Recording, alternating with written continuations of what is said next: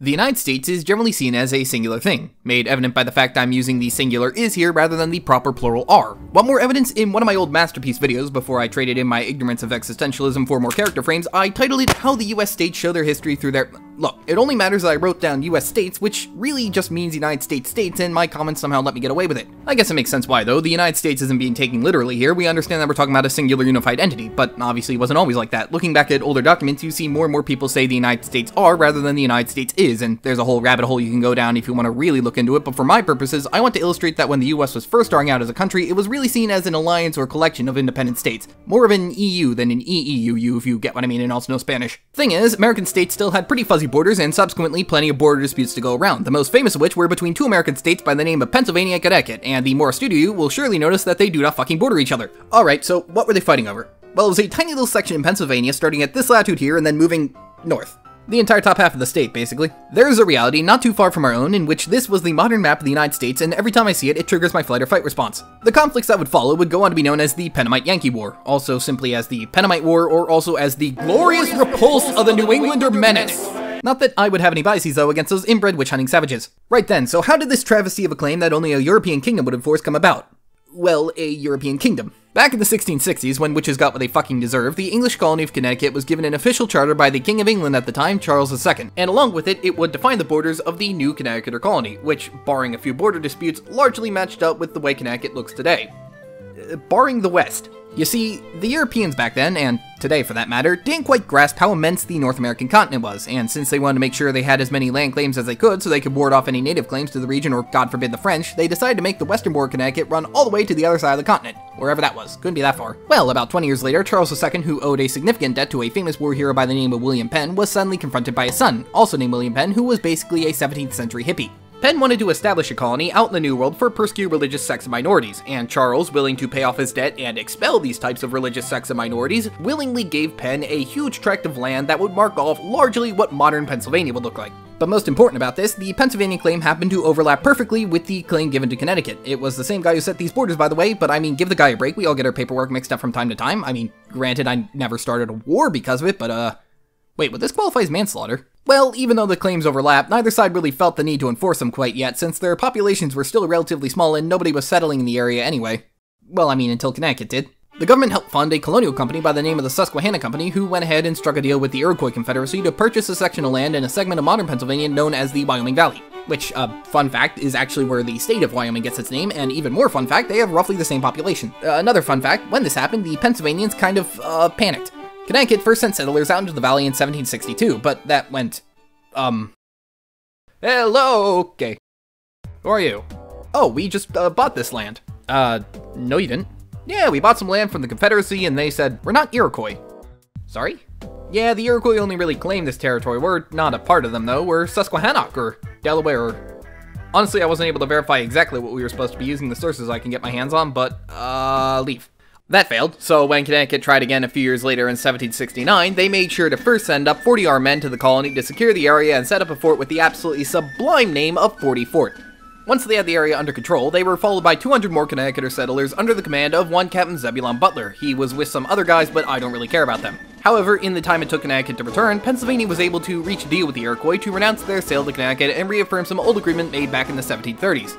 To enforce their claim, Pennsylvania sent up a few of their own men, including a sheriff by the name of John Jennings and a captain by the name of Amos Ogden. So now we have two states with armed men occupying a disputed territory with one side moving in to arrest the other. We have war, baby. Let's fucking go.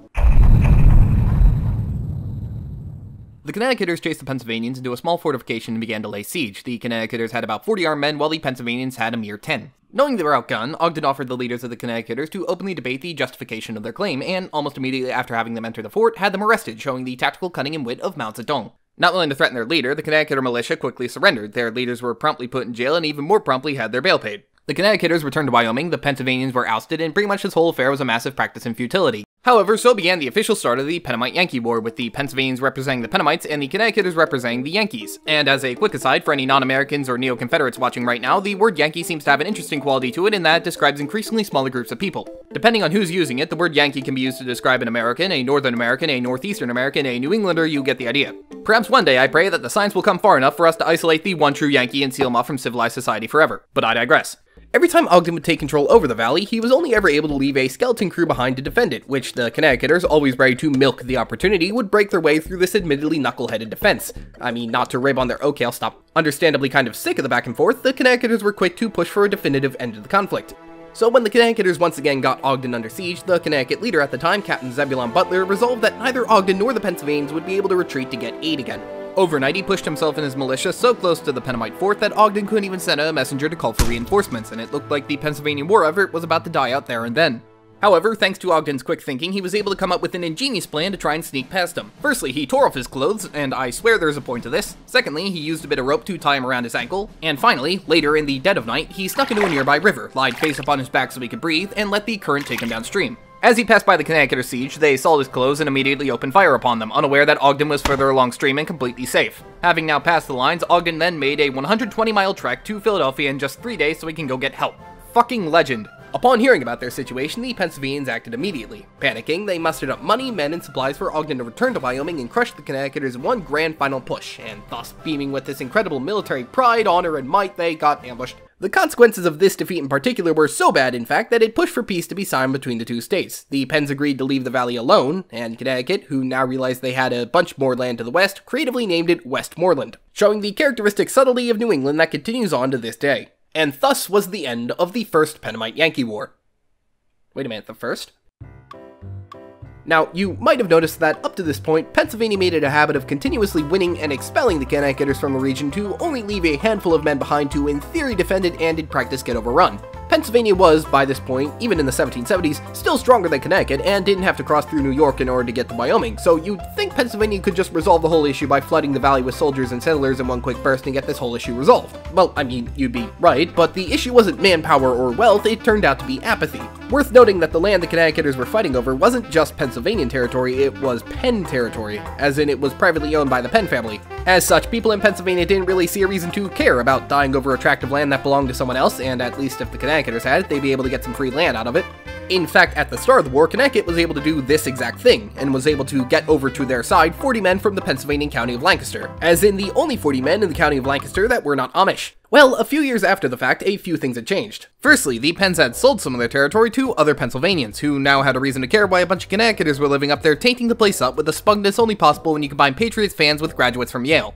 Secondly, a larger number of Connecticut settlers began to pour into the region, so many in fact that they began to settle outside of the county limits. Right away, the Pennsylvania government used this as a pretext to have the settlements destroyed. For this, the Pennamites sent up a colonel by the name of Plunkett, choosing to pass upon Ogden for the fact he was kind of dead. Right away, Plunkett arrested the settlers, burned their towns to the ground, and still on that high, decided that he would be the one to take back Wyoming from the Connecticut scourge. He made an appeal to the Pennsylvania government, which provided him with 700 men along with some boats and artillery to break through the Connecticut defense. This was also during the Revolutionary War, mind you. I suppose in weighing whether or not you should commit your limited manpower to a war that will get you executed for treason if you lose, compared to using them to dislodge a couple of farmers only marginally different from yourself, it should seem a bit one-sided, but then again, never forget that they were really fighting to save us from this absolute war crime of a map. And if that just so happened to require actual war crimes to accomplish, then so be it. The US Congress was actually trying to get them to stop as well, but this was before 1783, and so the US government was purely put there for decoration. And so, with nothing in the way of their reinvigorated spirit, the Pennsylvanians made their return to the Wyoming Valley. The Connecticut settlers defending it could only muster around 300 men able to fight, and they couldn't even all be given guns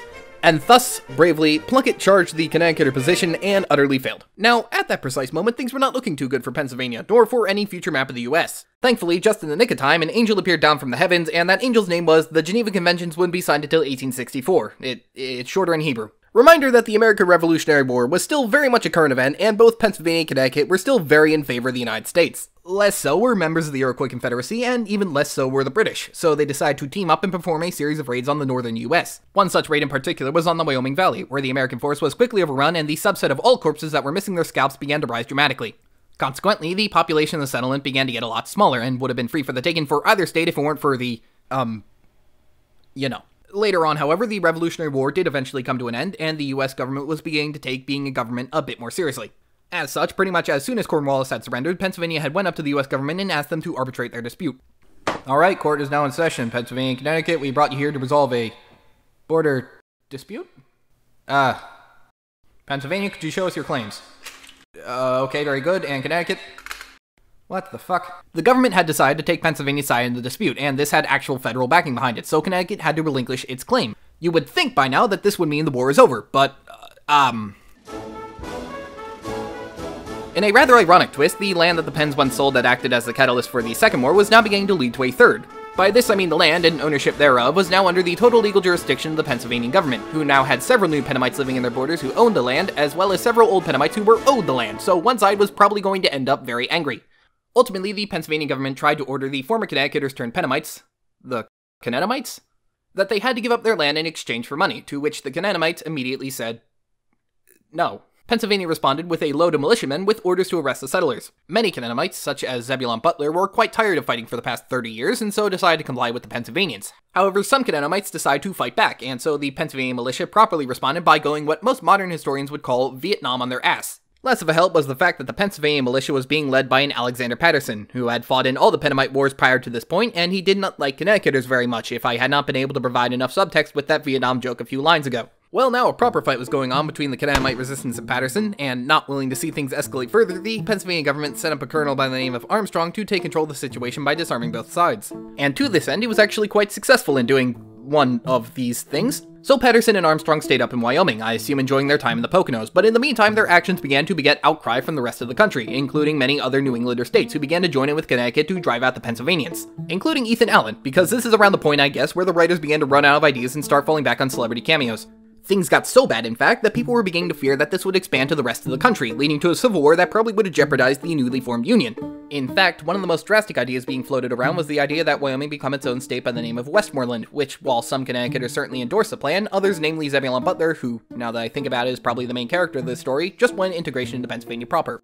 In the end, the Pennsylvania government realized how bad things were starting to get, and so they tried passing a series of compromise bills to placate the Connectimites to the best of their ability. Eventually, after years of back and forth on these compromises, the Pennsylvania government finally proposed the Compromise Act of 1799, where the Connecticuters would be given their land under the blessing of the government, and the land that the Pennamites were sold by the Penn family would be reimbursed for some equivalent amount. Finally, after 30 years of fighting, the valley was undisputedly and entirely Pennsylvanian, and nobody ever thought about the region again until somebody decided to make a comedy show set there. Yes, really, I, I'm not kidding. Now, um, ultimately, while the prospect of war between two US states is generally seen as something quite funny today and easy to turn into a YouTube clickbait thumbnail, I can't help but feel this whole ordeal was really just a bit of a tragedy. I mean, the people of the Wyoming Valley didn't really care what state they belonged to and only came to the valley as a means of improving their lives, instead being met by waves of armed men coming to arrest them at best or destroy their entire homestead at worst. The fate of the valley was ultimately a situation decided by forces outside of the inhabitants' control, and it really couldn't have been that hard for such a minor dispute to remain a purely legal conflict. Really, it is a bit of a shame then that the war took until 2018 to come to an end with a score of 41 to 33. Get fucked, Brady!